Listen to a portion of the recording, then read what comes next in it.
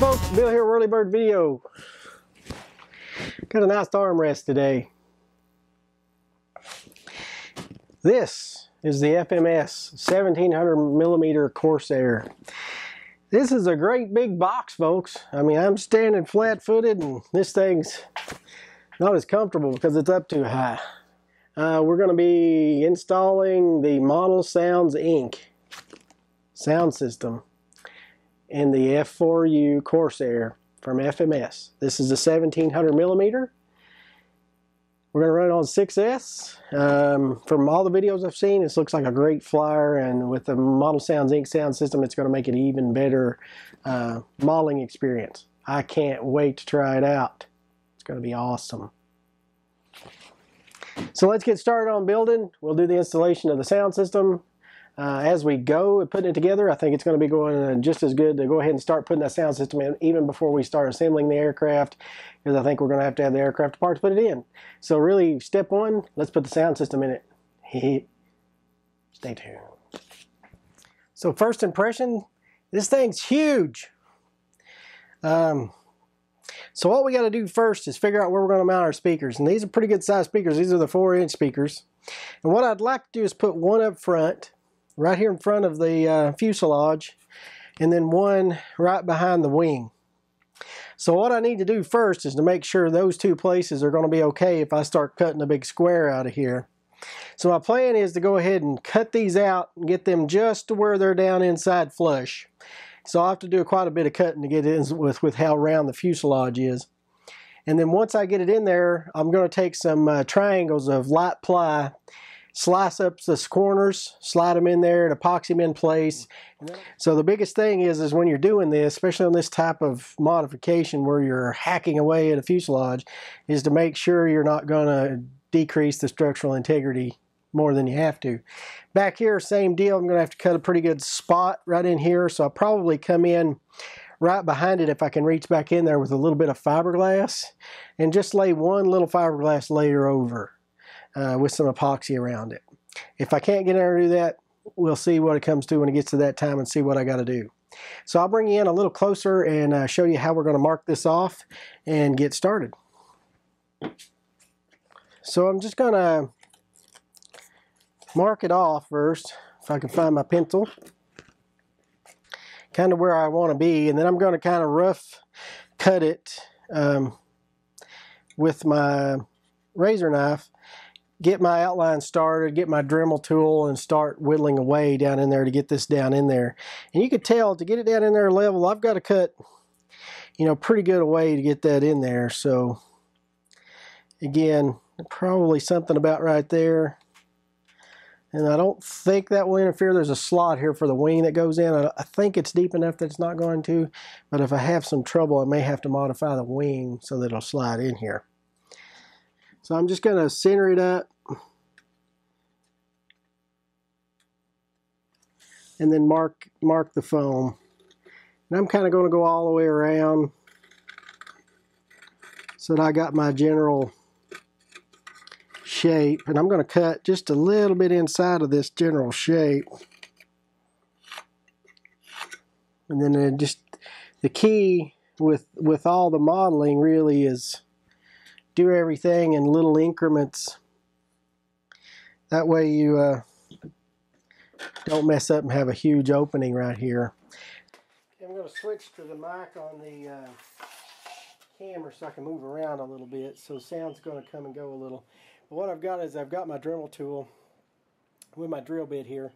And uh, I'm going to turn this kind of low at first and see what it's going to do to this foam. And I'm just going to go straight in the middle and see how it's reacting to the foam. It looks like it's not going to work too good at that speed. It's cutting better at that speed. So then I'm just going to go in and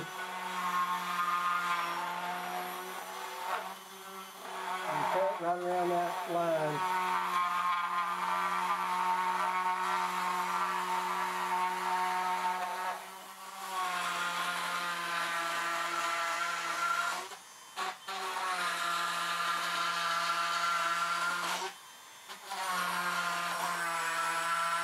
Now that I've kind of chunked it up there and got it in little slices, I'm going to see if I could just push some of them out. Just kind of pop these little chunks out of there.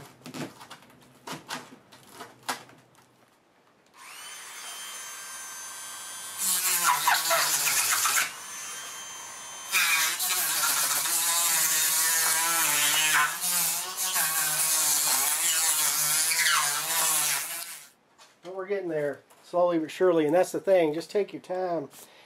I made the one. I'm going to test fit it here. I think that's going to be good. So I cut the other one. I'm going to cut it the same. So that's why I went ahead and cut this one first, and I'll just mark the other side here since I made so many scratches on that other part.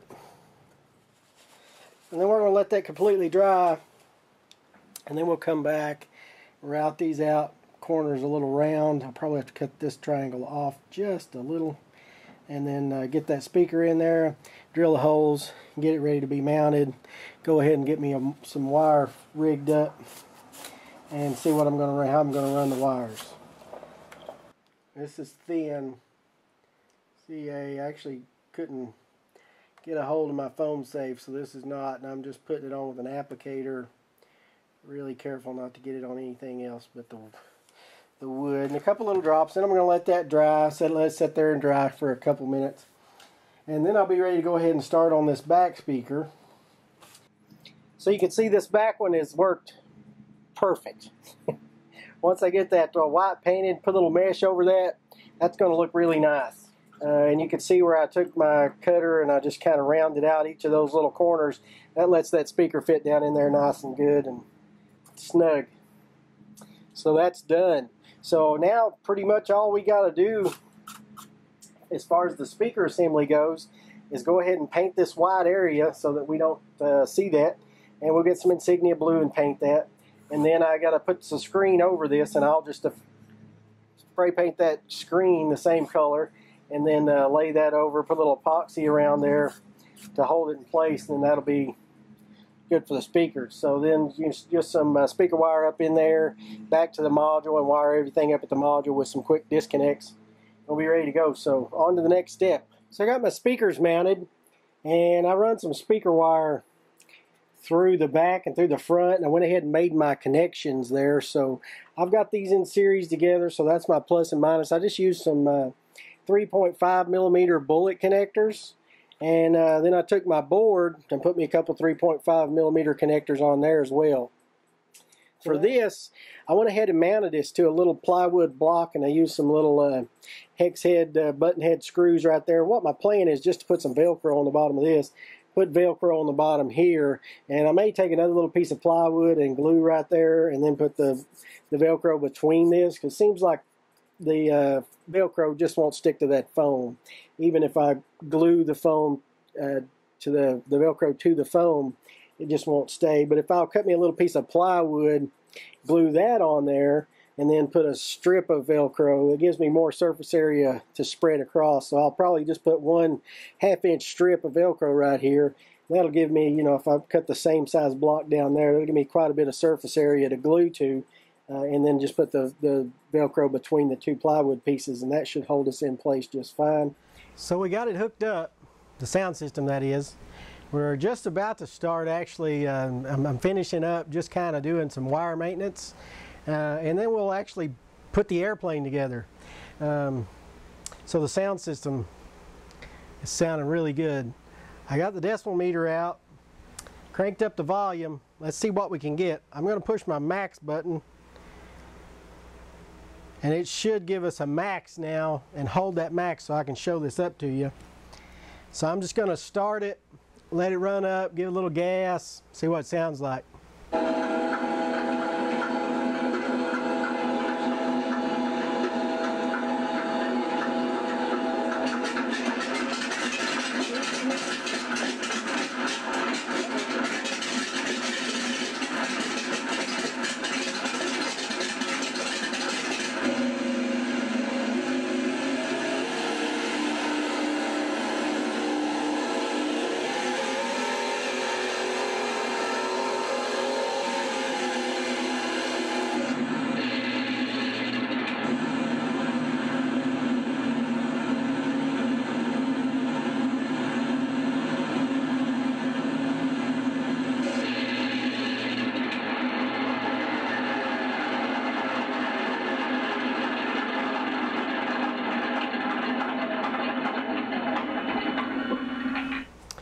So we got, uh, of course, you know, this is, they say 106 dB, so definitely I could have that much difference in my meter. But uh, if you can zoom in on that, I think that uh, 101.8 decibels. That's pretty darn loud. Uh, you know, that I'm sure when they did their test for 106, it was optimal conditions, and again, could definitely have a 4.2 uh, decibel difference in my decibel meter. So, uh, wow, that's loud. Sounds really cool. Machine gun sounds cool too. Let's, um, I'm going to reset my um, meter here, and uh, we'll see if we can get the max out of the machine gun sound.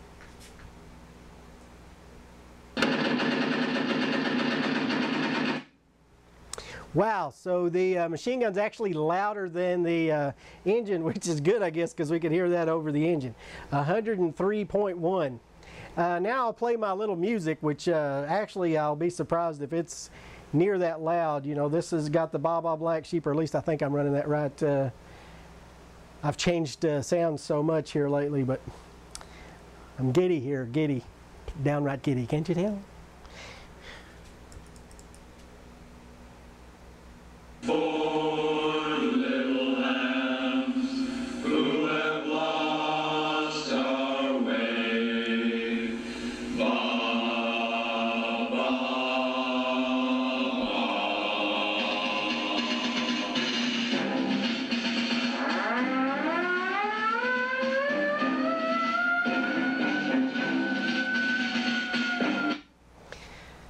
I went ahead and killed it there. Uh, okay, so surprised again, folks. Look at that, 107.3, because maybe I got the microphone a little bit closer. It says within one meter. I was trying to keep away from it a couple feet, so not quite one meter. But at any rate, wow, it's loud, and it sounds really, really good. I hope that sound's coming across. Hopefully you guys have got some good uh, stereo speakers and your sound cranked way up because that sounds really well. And I'm using my lapel mic to pick up the sounds.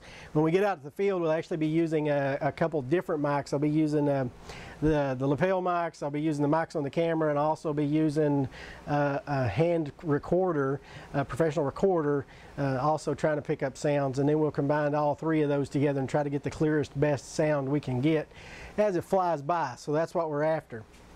So the sound system is basically installed. I'll bring you over here and show you kind of what it looks like. Now I still got to do my wire management, so I've got my hot glue gun uh, fired up, and I figured out where everything I want everything to go. So uh, that's what we're working on. So let me bring you over here and uh, show you what it looks like. So yeah, we definitely uh, we got a mess right now at the moment for sure, right? We got wires everywhere. So what I did is I wired right off of that. I put me an EC5 connector on. And then went, oh yeah, I was supposed to make a Y. So I wish I would have done that before I put the EC5 on, but I didn't want to take it back off. So I just tapped into it right there on both sides, uh, individually wrapped each one in electrical tape and then wrapped them together so that that gives stress relief to that wire. And then I'll reroute that up and under and out of the way. And this wire here is my speaker wire from the front and the speaker wire from the back. Showed you that in the earlier part of the video. Uh, the 3.5 millimeter uh, buttons there plug us together to give our uh, sound for the circuit through the speakers. And then it's hooked directly up. I still got this switch in here. I'm probably just going to do away with this switch and have it directly to the power unit. I didn't get to ask David that question if it was okay to do. It seems to work. I hooked it up and just left the switch on and unplugged everything. It seems to be working every time, uh, but I want to try that. Another thing, David got a hold of me and said there was a new revision out for the board. So I'm actually going to pull the board out tonight and put the new revision of the uh, firmware on here and there's a new version of the software to play with too. So I want to do some more playing with those sounds. Uh, this receiver I'm probably going to mount right here. Uh, unless, unless I change my mind, I could definitely put it underneath the uh, push rods back here. We'll kind of see as we go together. So, And then we're going to continue to actually start putting the airplane together now. So the sound system is installed, less the uh, wire uh, organization there. And uh, so far, this sound system is going to be awesome. I can't wait to hear it out at the field. The next thing you'll see will be this thing put together. Just like that too. It's going to be like magic. Hey folks, so like I said, magic. It's done. Really didn't take that long to put together. I did have a couple clevises break on me. One was broke out of the box and one broke while I was trying to get it on. Uh, right where the rod goes through the, the control horn broke right there on me. Luckily, I've got another FMS plane because it actually uses a little bit smaller size clevis than like the Dubro clevises that I have in my field box. But luckily, I had another one, so I stole a couple off of that plane, and I've called uh, Motion RC. Uh, was where I got both of these airplanes from and asked them to send me a couple replacement clevises. So anyway, looks like uh, everything's good. I've got one little glitch in a servo. Um, one of the flap servos, if I actually push on the servo, the actual shaft, like I noticed it when I was trying to put the screw in, it, it starts glitching and it's kind of, it's, it's definitely, I can do it every time. Uh, but long as I don't touch it, it seems okay. So it's kind of weird. I don't know. Uh, the prop went together well. I measured uh, each one of the uh, propellers. I weighted them with my little meter that I actually measure gunpowder when I'm reloading with and put the heaviest ones opposite each other trying to to make sure I got that as balanced as I could. And then I bounced the prop with a uh, Dubro balancer. I had to sand a little off of one of the blades to get it, but I think I'm pretty good and balanced on that blade now because I'd heard a lot of people talking about hub balance issues with the uh, big Corsair or the big propellers, the 1700 millimeter uh, size propellers that comes with a 17 inch propeller. Um, so I balanced it as good as I could. It looks really good to me. All I had to do is sand, like I said, one of those blades down a little bit. And I could definitely tell I was off a gram or so on one of those blades when I was trying to get them uh, matched up. So I got everything ready to go. All I got to do is program my final control throws, um, wipe it off a little bit where I've got some uh, sweat, blood, and tears on there from uh, putting it together out in the hot shop. Uh, but we're going to get it out now. We're going to get it out and actually drive it around a little bit.